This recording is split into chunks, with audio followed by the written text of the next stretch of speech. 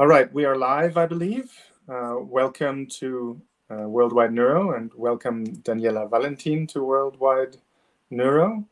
Um, we have 120, 180, 18, 120 uh, in the audience. Uh, I hope you can all hear me. No one's complaining on the chat, so I assume things are going all right so far. Uh, it's a nice change uh, since I screwed this up badly last week. Um, couple of ground rules. Uh, use the chat at uh, your leisure and post questions in the chat or in the ask a question box or ask them in the chat and put them into the box afterwards. Um, small questions can be answered by the audience, big questions obviously um, by Daniela after the talk. Uh, I'll try to um, see as best as I can, which is usually not great. Um, but it seems to be working all right anyway.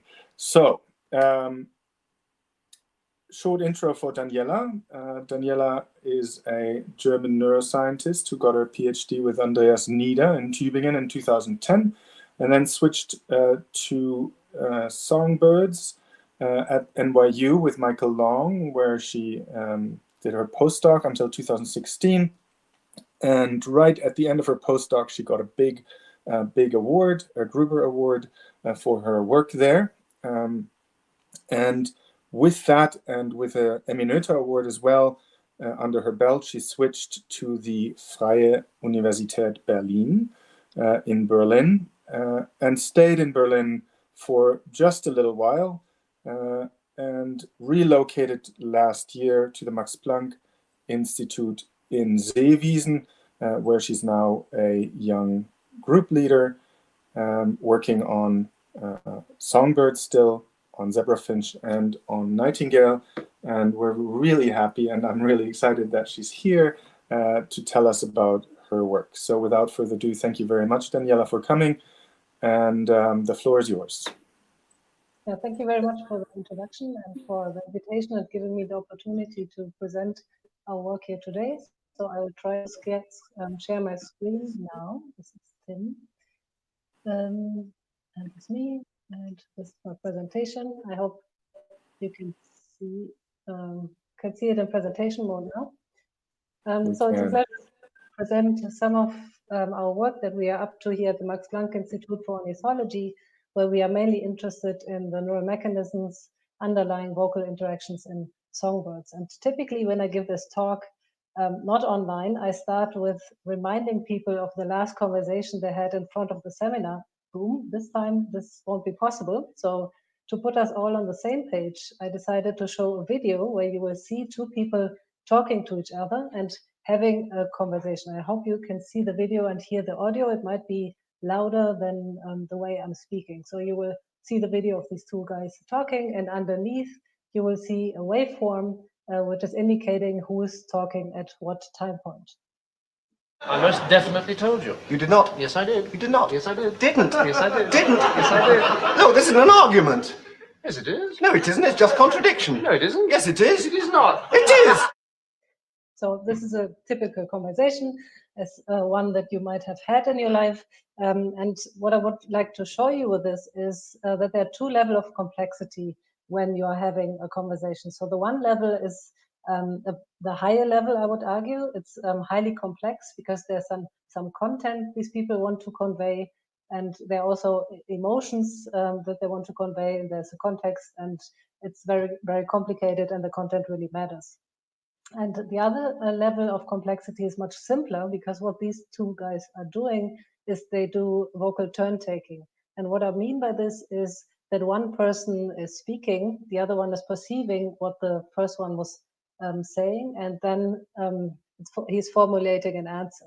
So if we want to look at this as a much more simple um, simple behavior, we can put this into simple building blocks because what they're doing is um, they're listening, they're processing the answer or um, what the other one has just said, and then they're starting to vocalize. And this is the level of complexity that I would like to understand on the level of um, single cells. So how are we able to produce this kind of vocal interaction or vocal turn-taking behavior.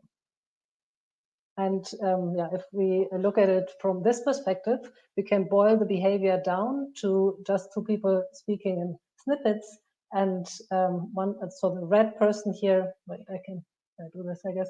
The red person here speaking, then there is a short gap in between these two people um, speaking, and then the blue person um, is giving an answer. And this has this gap actually is interesting and has been investigated a lot because we do this in a very precise manner. So it has been shown here in this um, by by many uh, researchers that in all languages actually this gap has a modal value of 200 milliseconds. So the response time is really really short. This is on the on the timeline of shorter than your actual reaction time.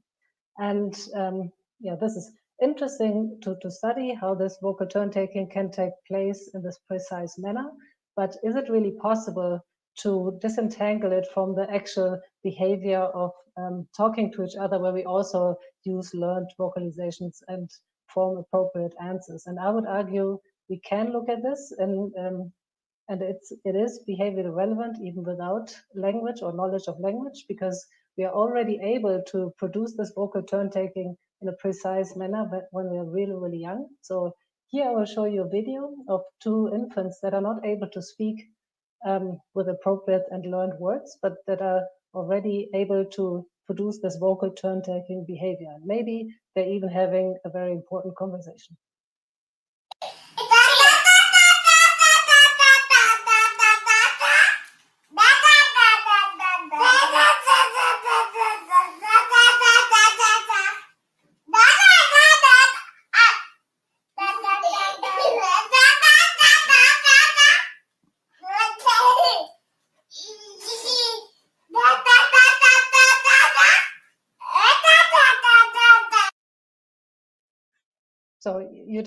that uh, these two infants uh, were producing vocal turn taking behavior without a real content, for, but for them it seemed to be important. So uh, knowing this now, um, I can turn to an animal model that allows me to study this on a neuronal level that displays a very similar behavior without looking at the complex learned, um, learned part of the vocalizations. And I decided to um, use zebra finches to study this behavior because zebra finches they execute short calls, um, yeah, many short calls per day, and um, typically they're famous in neuroscience for um, studying their song learning um, mechanisms, so how their brain is able to learn the song. But instead of the song, I, I will look at the, only the calls. And if you ever have the chance to um, go into an aviary, this is the type of behavior that you will encounter. So these are many birds and they're calling to each other all the time.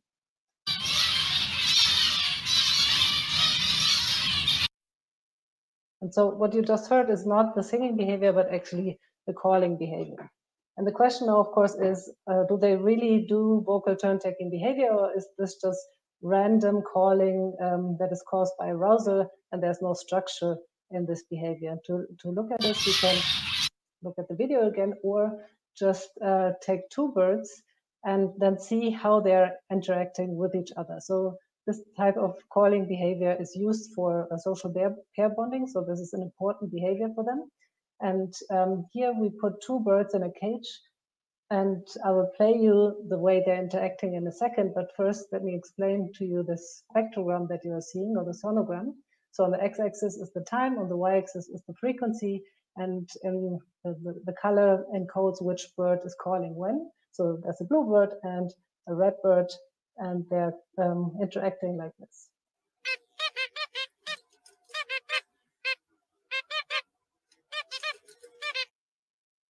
And I hope you could appreciate that most of the time they are nicely alternating with each other, but of course sometimes they also overlap. So the question is, do they produce vocal turn taking in a similar way we do, or is, is this random? And to really get to the bottom of this, um, we decided to replace one bird with a, a, just a playback to not rely on the behavior of the second bird, and then to see how one bird is responding to this um, call playback.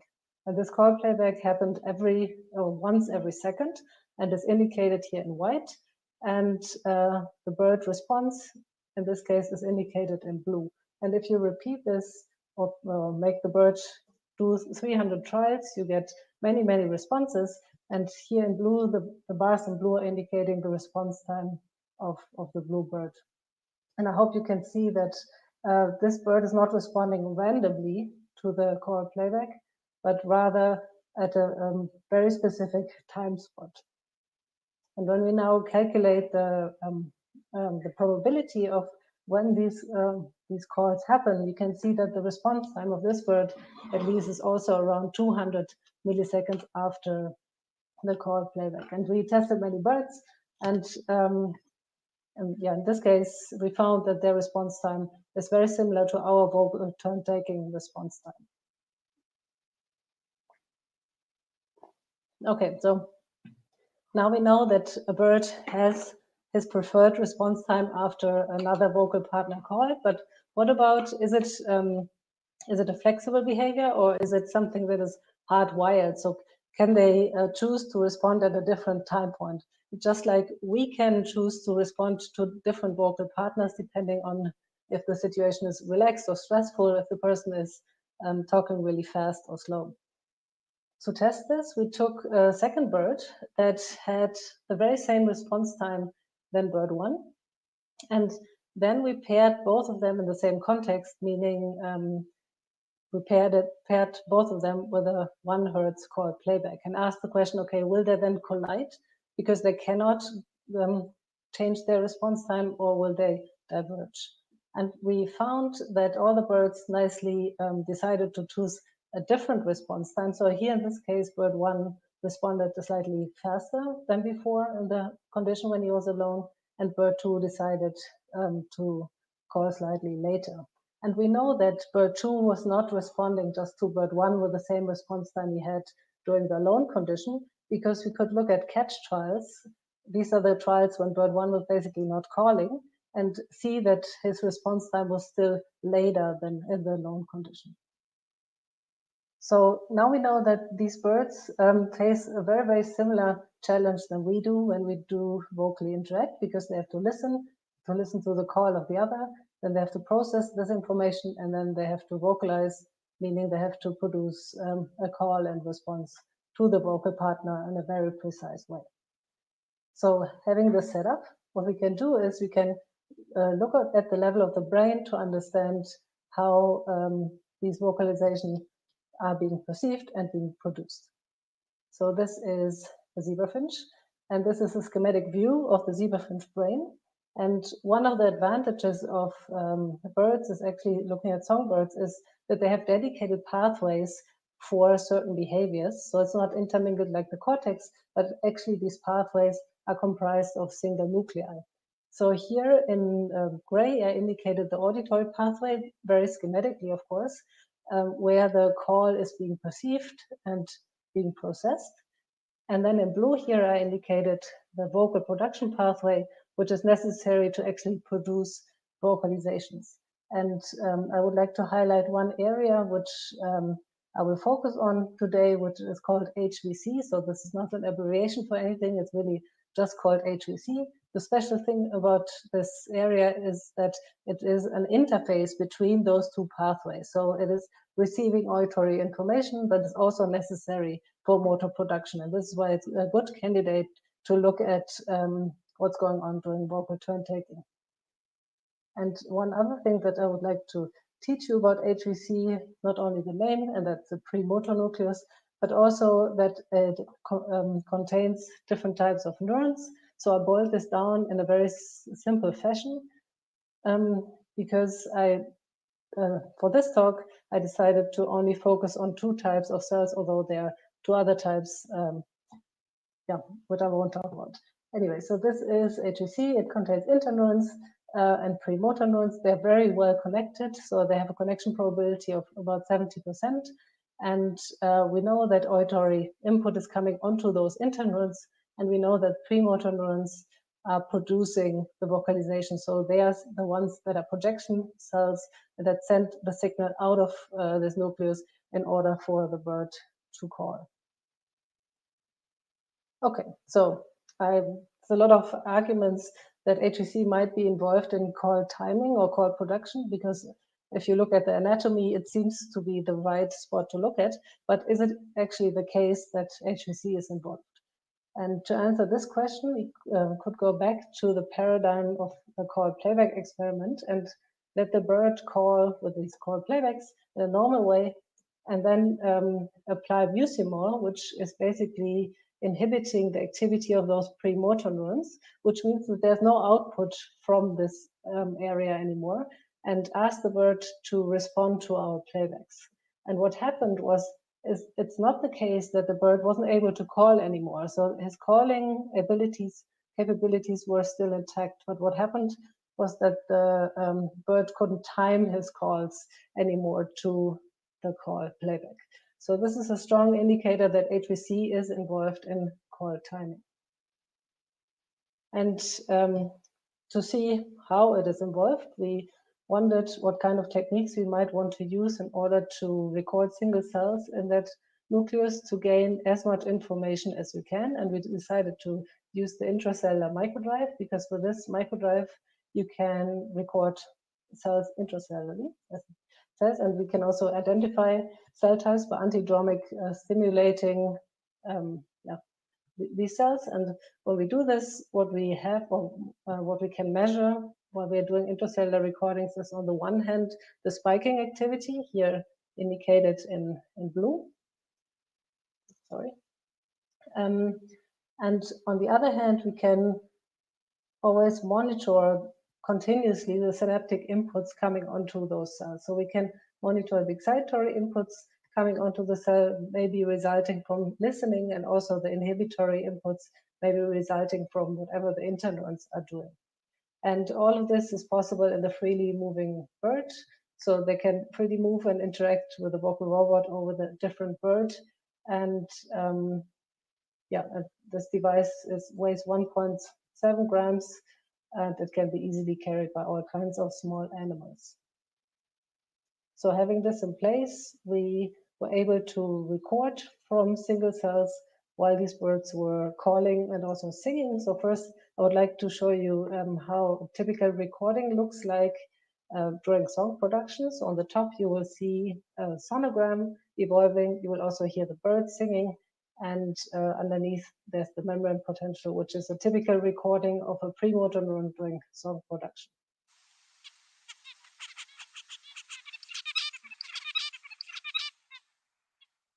I hope you could hear it, but here here's the sonogram. So the zebra finches typically sing um, so-called motifs and repeat those motifs multiple times. They only have one motif in their repertoire. And um, so yeah, here you can see it was repeated three times and the underlying activity looks like this. There are some um, synaptic inputs shortly before the song, and then there are spikes at certain times during song production. And if you align this to to the uh, motifs and under uh, yeah, align it, and you, you will see that the synaptic input is actually highly stereotyped during song production, which is an indicator that the network is always doing the very same thing, very same thing uh, during singing. Okay, so this was known um, already for song, but what about call? So we would wanted to know what happens in these neurons while the birds are calling. And that's why we recorded from premotor neurons during calling behavior and found that Shortly before the bird called, there was a burst in some of the cells. And this was repeatable. So if we continue to record from the same cell and the bird um, called again and again, we could always observe that this, these type of cells were bursting shortly before. Um, this, of course, um, made us wonder if the cells that we are recording if these are the same that are active also during singing, or if these cells are actually a separate population that are responsible only for call production. And to figure this out, we simply recorded during call production, but also during singing. So this is the very same cell recording during these, these two behaviors.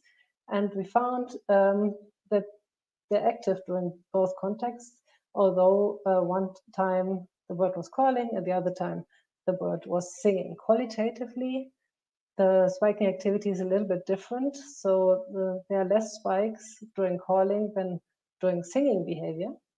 But what we wanted to know is, is it the case that whenever this cell is bursting, the same kind of sound is coming out of the beak of the bird.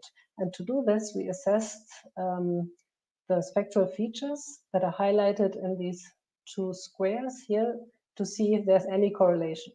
And we looked at the call pitch and at the goodness of pitch and multiple other measures, and it's not the case that there is a correlation, but uh, it is really depending on which kind of circumstances basically the cell is active and if uh, a call is coming out or the song is being produced.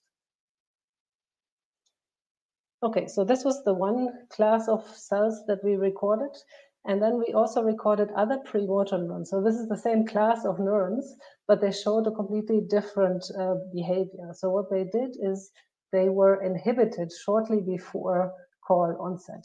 And if you see something like this, some hyperpolarization uh, in sharp electrode record, sharp intracellular electrode recordings, it means something. So there must be some kind of strong inhibition going on. And uh, this is why we turn to the question, okay, what is inhibition actually doing? We know that these inhibitory interneurons are very well connected to those premotor neurons, but um, what do they do during calling? And um, so we could just record from those interneurons and um, and then see how they change the activity. Yeah. yeah. Someone's asking how the goodness of pitch was measured here. Um, so we're using SAP Sound Analysis Pro 2011 um, which is provided by Ofer Tchernichovski. It's a software that is freely available. And there you can basically put in um, whatever sound files you want and it measures the goodness of pitch. Okay. Thank you. Thank you. Thank you. Um, okay, so um, yeah, so we recorded from those interneurons, and what we found was that they're they're ton very tonically active, but uh, when the bird is not calling, but shortly before um, his call, they're actually increasing their firing rate.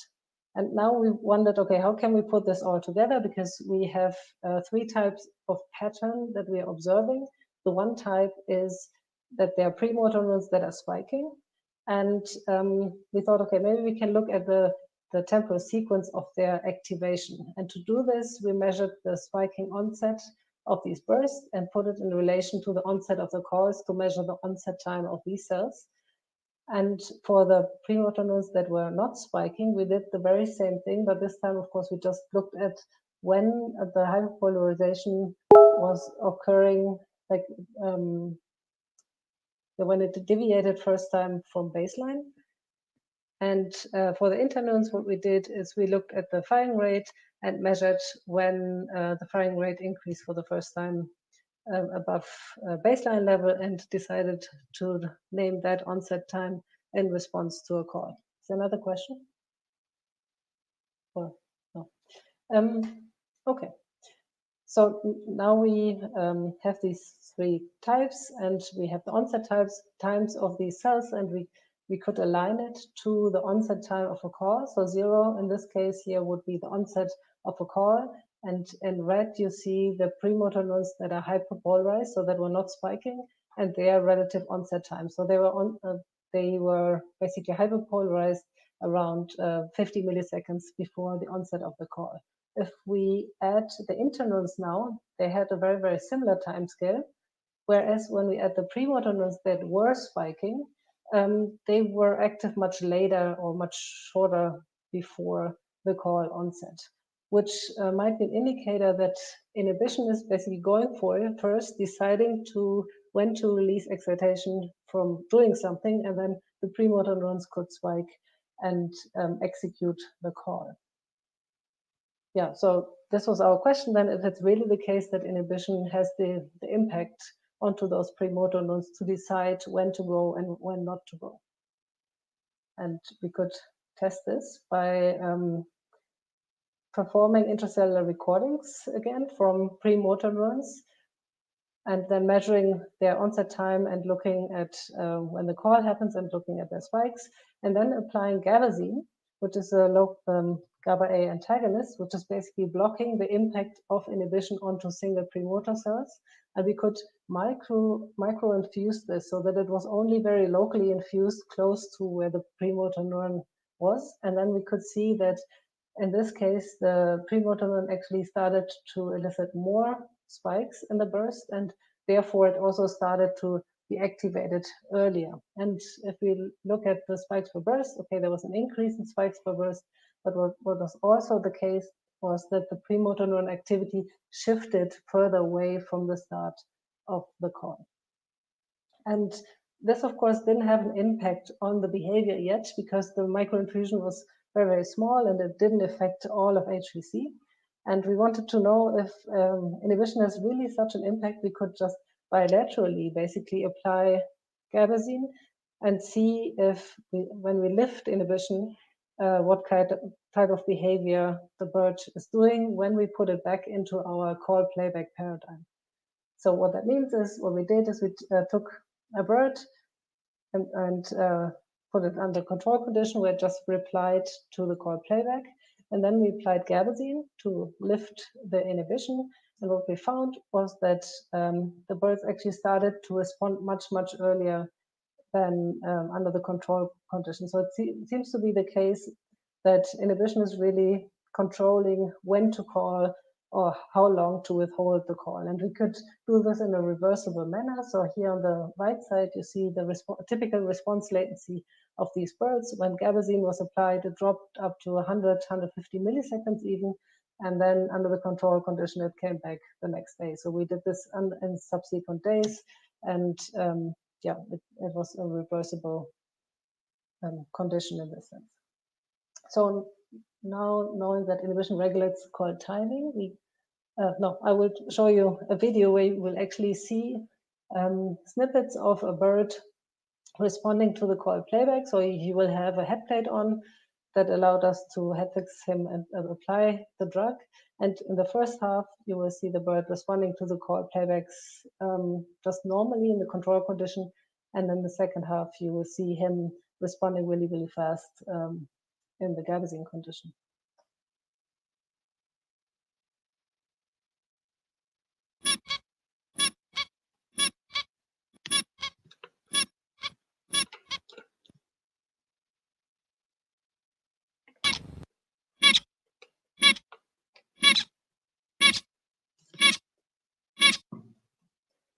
And just for fun, 50% slower.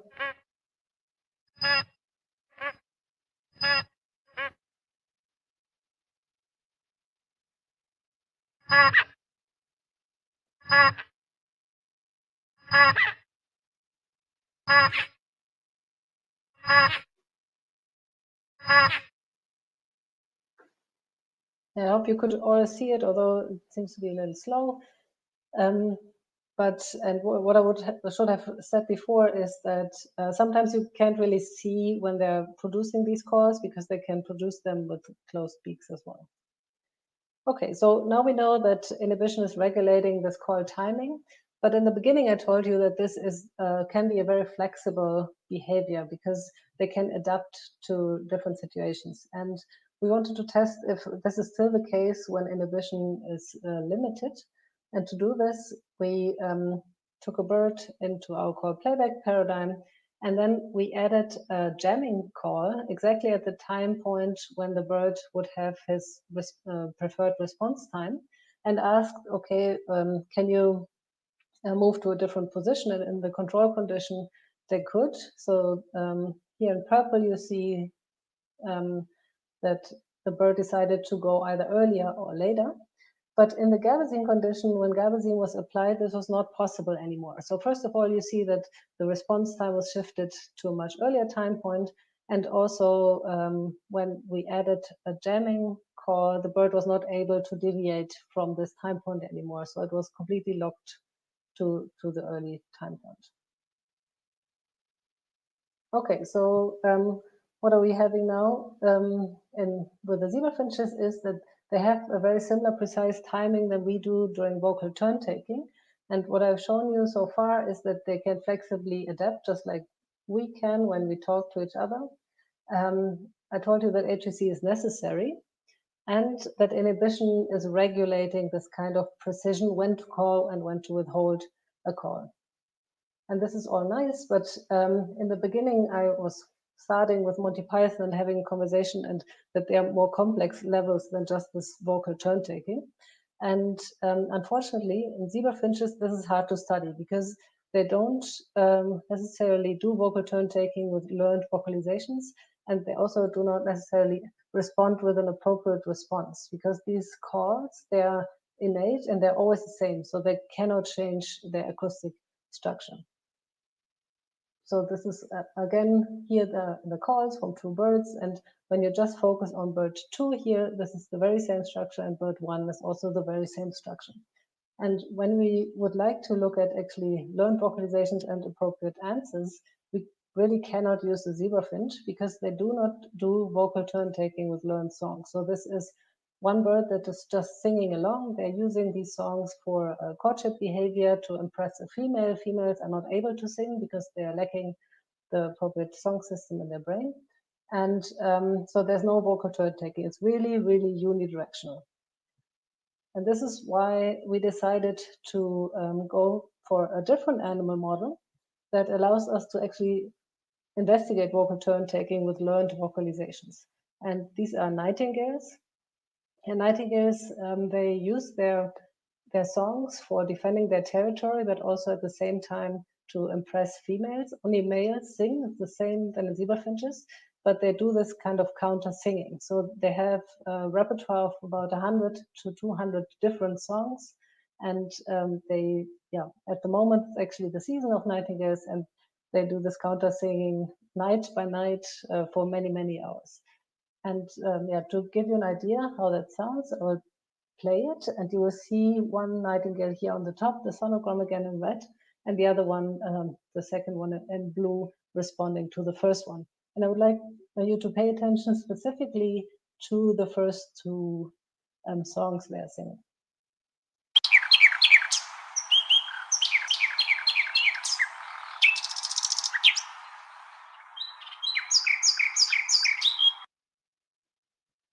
I hope you could appreciate um, that these two songs were actually highly, highly similar because this is a behavior that has been described before. What they do is that they match the song of their neighbors. And um, this means that they really have to listen to each other because they have to listen to, okay, what did my neighbor just sing? And also they have to form the appropriate answer with their learned vocalizations because they want to match their neighbor. And this is advantageous because while they're um, producing this kind of behavior, they're impressing females. And if you think of this as um, I can sing what my neighbor just sang, that might be advantageous. Okay, so um, this is what happens in the wild. And uh, what also happens when they're singing is that they have, so as I said, very many different uh, motifs, but one thing that is striking, one element that is striking that they actually use many, many times is uh, this type of animals, uh, this type of um, um, sound, which is um, which sounds like a whistle, like we would whistle. So they do this all the time.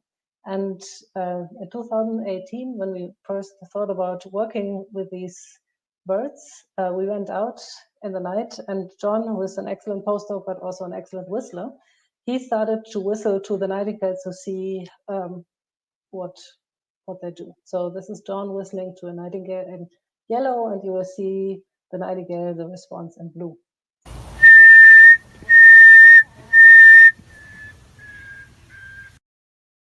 I hope you could hear it. It's a little bit more quiet because the nightingale was a little further away. But when we took these data um, to the lab, we we thought, oh, this is remarkably similar. We, let's have a look at the pitch. And in this case, the nightingale was really close to, to the pitch that John was whistling.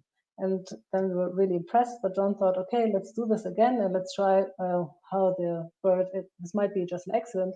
Let's try it again. And he whistled again with a slightly different pitch.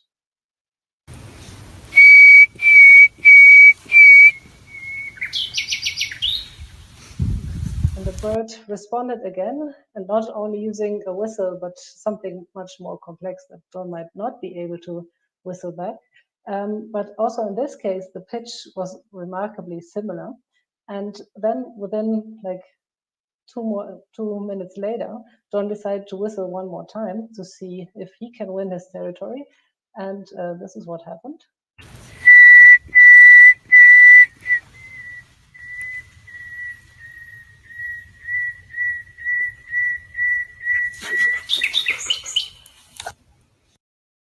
Okay, so this is, I guess, was clear that we had to leave because this was the perfect match, and also um, the Nightingale just outperformed John completely.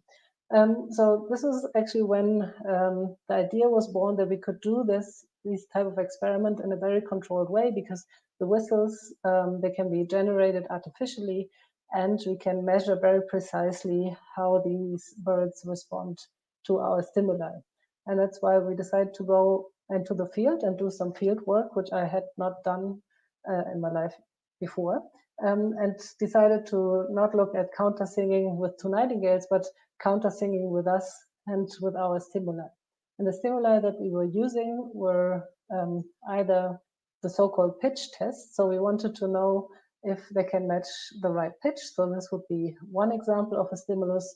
This would be another one. And then we decided on a couple of, of more. And the second um, test that we developed was a tempo test where we kept the frequency stable, but we changed the tempo of the whistle, so the duration of the different whistles. And uh, with this in our computers. We went to uh, Brandenburg, which is the surrounding area of Berlin, and we did this last year. And, and this year we actually just come back from there. And then one day um, we went out and drove around and looked for all the nightingales that we could find within like 10 kilom kilometers distance. And here they're all marked with a heart. And uh, during this talk, I will just um, tell you the the results from eight nightingales from last year, but uh, this year we actually collected many more data. Okay, so this is on the map, but how does this actually look like? It's very different from what I was used to doing neuroscience in the lab. So this is the outside lab. You have a computer, you have an amplifier, a speaker, a microphone, and somewhere there's a nightingale this is how it would look if you were to do this uh, during the day, but in fact you do it during the night. And it's also very cold in April. And this is um, the right two pictures are more reflecting the reality. So you're packed up in your blankets and you record a bird and you vocally interact with him with your um, computer. Okay, and um, so this is how nightingale territories typically look like. Um, these birds like to hide in bushes where there are many thorns and uh, nettles so that you don't come too close when they build their nest because they are ground breeders. Um, but you can still, it's convenient in a sense that they are not sitting too high when you want to do your recordings. Um, but it's inconvenient when you really want to see them because this won't be possible. It's also dark and they're hiding somewhere. Okay, so this is what we did.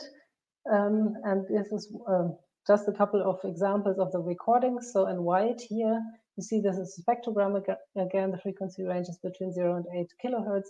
This is our playback, and this is one nightingale responding to our artificial playbacks.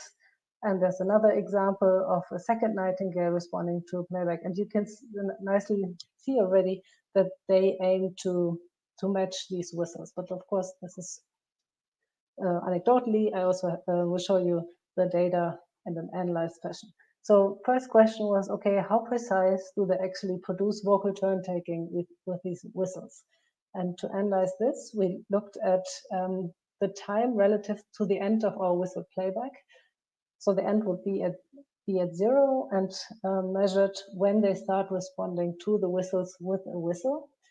And we found that they have two different modes. So they can overlap with the playbacks or they can alternate with the whistles with the playbacks. And this has actually been shown in the 80s already, not with artificial playbacks, but when you just simply interact with them with their normal song, they also have an overlapping mode and an alternating mode, um, which is thought to be a more aggressive or less aggressive strategy.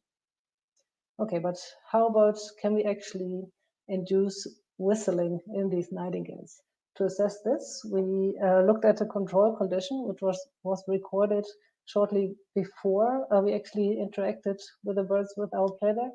And uh, just to have a look at how much whistles do they use generally when uh, we are not around. And uh, we found that in 21% of the cases around um, that number, they are whistling. And when we're doing our playback, they actually do not start to whistle more at all. So they still have a whistle, whistle, whistle yeah, they still whistle in 20, 25% of the cases. But what they do is they restrict their whistles to our playbacks. Um, what that means is when we look at how often there was a whistle after our playback, we get to like about 75% or so.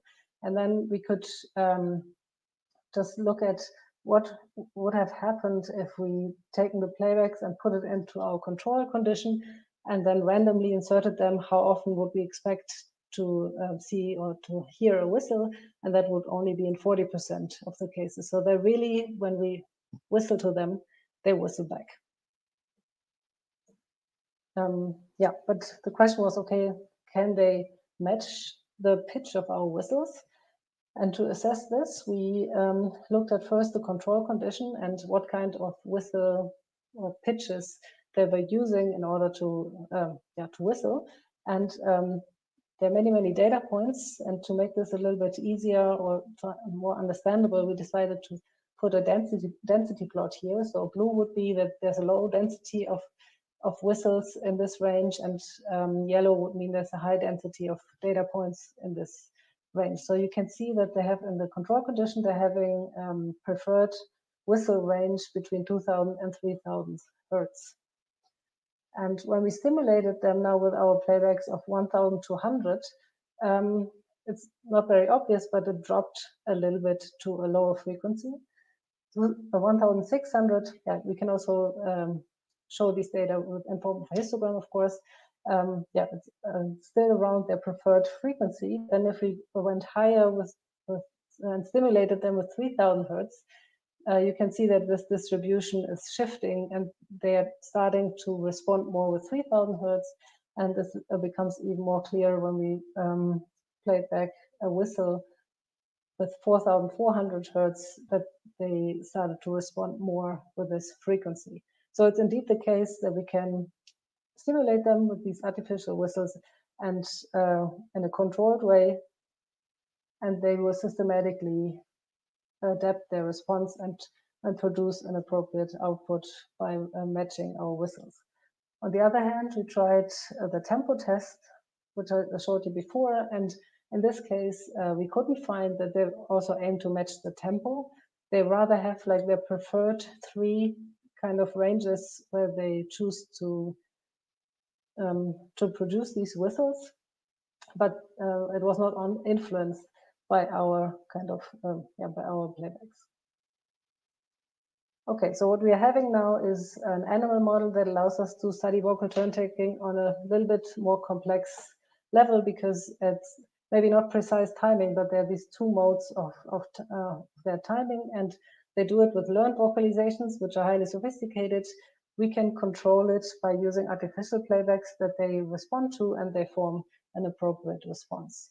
So what we are doing now in the lab is basically we are establishing a breeding colony um, and trying to to breed um, nightingales so that some of them are very tame already and some of them are sitting on some eggs right now so there's a lot of hope that uh, we can use these animals in the, in the lab soon and uh, the plan would be um, to do very similar recordings, what we have done in the Finch, to better understand how the, these animals are able to listen to something, then to process this auditory information, and then to convert it to a motor program that allows them to execute the very, very same uh, behavior they just observed in the auditory spectrum.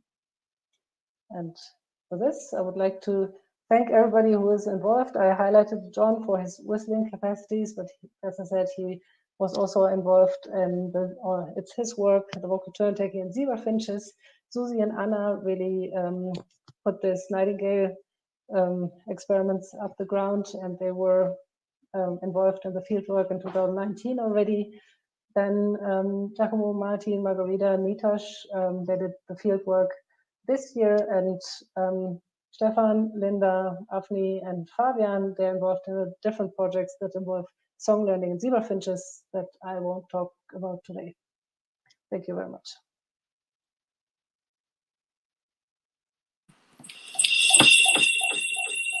Thank you very much, Daniela. I'm still struggling a little bit with sound. Um, I hope you can hear me.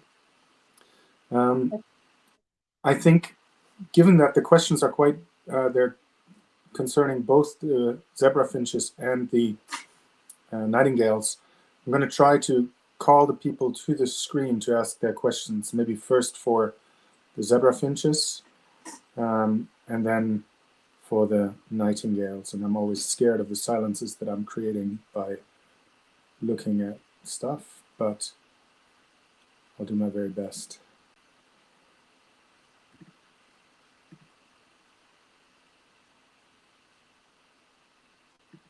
Oh, um, I don't know if this is working. Can you hear me at least? Yes, I can hear you. Well, maybe look at the questions. I was, I, um, Okay, I see. I can. Uh, okay, so, so should I start from the beginning? yeah, maybe, maybe pick out the zebra finch first, right? The zebra finches. Okay, so the first question is, were the neurons that burst before cause projection into area X or RA? So these were um, RA projecting cells. Uh, I did not talk about area X at all because only the RA pathways C to RA connection is actually important for um, vocalizing. Um, if you desynchronize the vocal bird posture, uh, does it affect, wait, uh, I don't. Desynchronize the vocal bird's posture. Does it affect the response timing of the actual bird? Um, so I'm not exactly sure because it was not a robo bird in that sense that there was an actual bird and that's why there was no posture involved.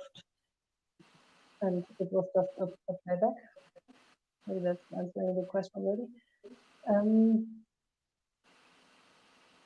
popping up, okay. Is there any effect of surrounding environment in song learning? Uh, I guess so. I didn't talk about uh, this um, this time, but uh, we have some evidence that it really depends on with whom and where you raise zebra finches, um, what kind of song and how well they, they time their song and how well they learn. So this is not necessarily related to this talk, but um, yeah, my answer would be yes. Uh, the core frequency increased as well under Gabazine.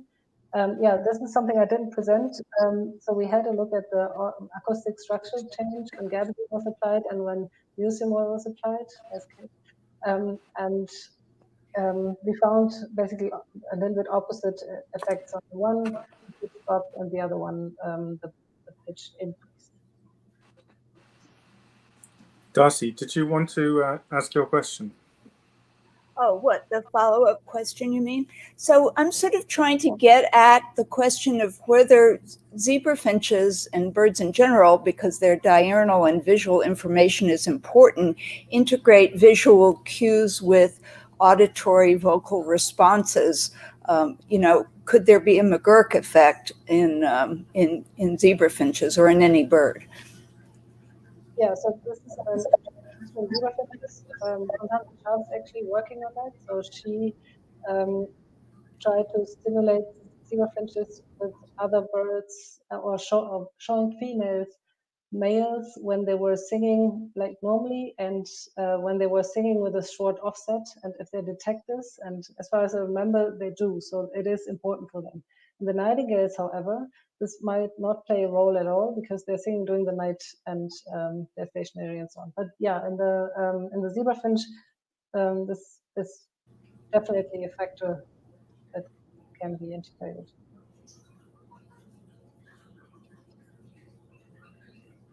Does that answer it, Darcy? Yeah. Yes. All right. Yeah.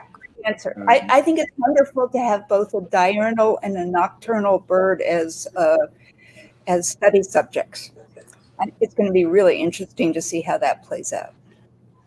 Maybe I can I can ask there a follow up question. What do you think is different in nightingales in in their brain structure? What do you need to add to the zebrafinch system in order to make them respond and talk back? What what's missing?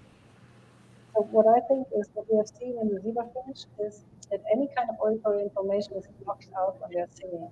And this is due to the interneurons, they're just blocking it out. And in the nightingale, my hypothesis would be that the interneurons actually act as a gate, just like in juvenile zebrafinch, where they also act as a gate. Um, and they decide basically when information is coming onto those premotor neurons. And in the context of song matching, there has to be some opening of the gate because they aim to to match the very same song. Whereas outside of the context of song matching, or even when they're just listening to it, then the interneurons must just uh, could just gate the auditory information off because it's not important in that context. But this is exactly what we would like to look at in in the nightingale hypothesis. So actually, I have another follow-up question, which is that Blair Simpson and David Vicario showed a long time ago that there are calls in zebra finches that are learned in males but not in females. And I wondered if you had any plans to look at that. Yeah, so um, we're talking about long calls. And this study only look at that and the big calls, which are the late calls and long calls. Um, and they are learned in males and not in females.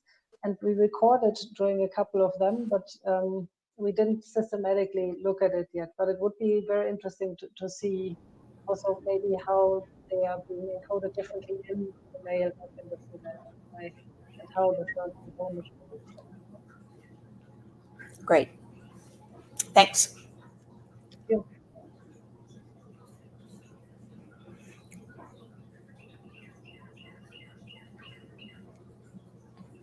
We're going on to the Nightingale questions or? Anything else?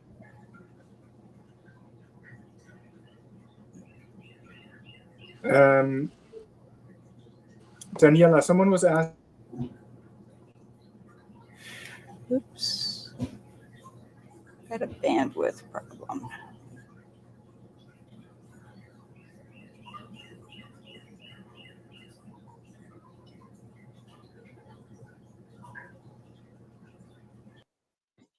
can't hear you.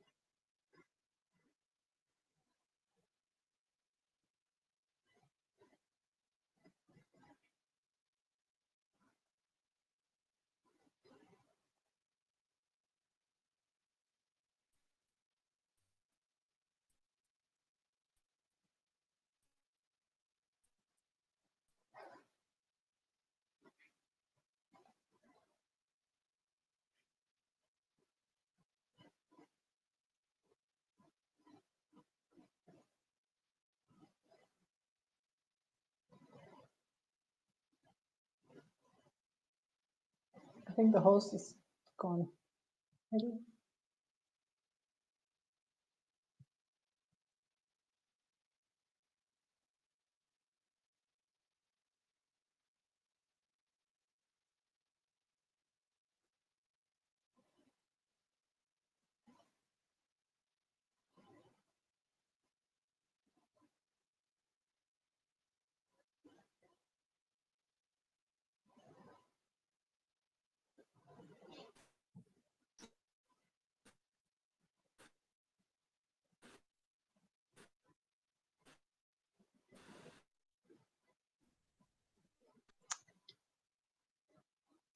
Sure.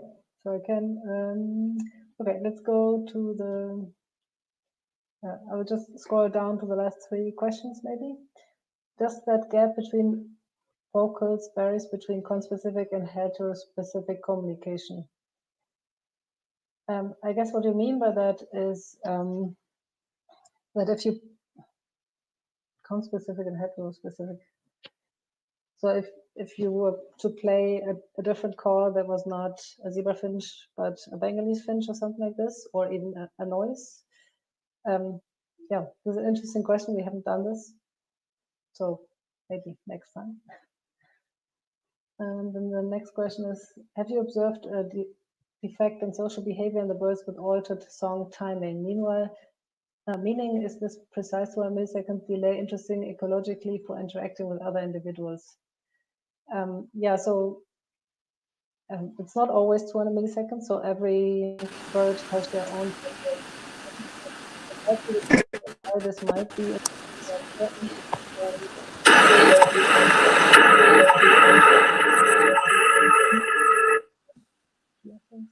There's a um, might be a certain hierarchy. So, for instance, when you're the alpha male, it might be important to always be the first, or um, you are like the subordinate, it might be important to be a little bit more flexible so that you can avoid to overlap with um, with the alpha male.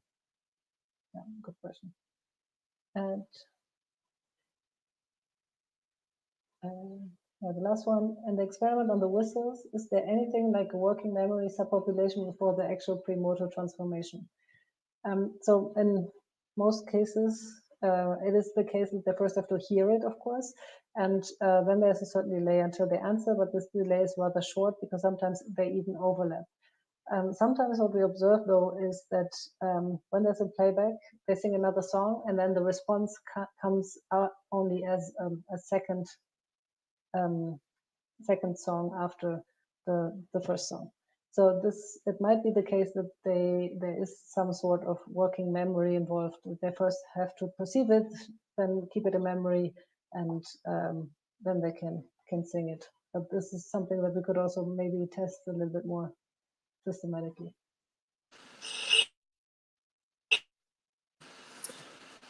I think that's it. Yes, Daniela? All right. Um, I think I, I'll just say thank you here for everyone for this wonderful talk. And um, I hope to see you all next week again for another Neurotheory Forum. And um, leave you and Daniela for the rest afternoon, of the afternoon. Have a lovely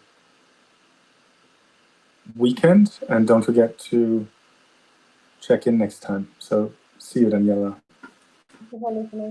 Bye. Bye.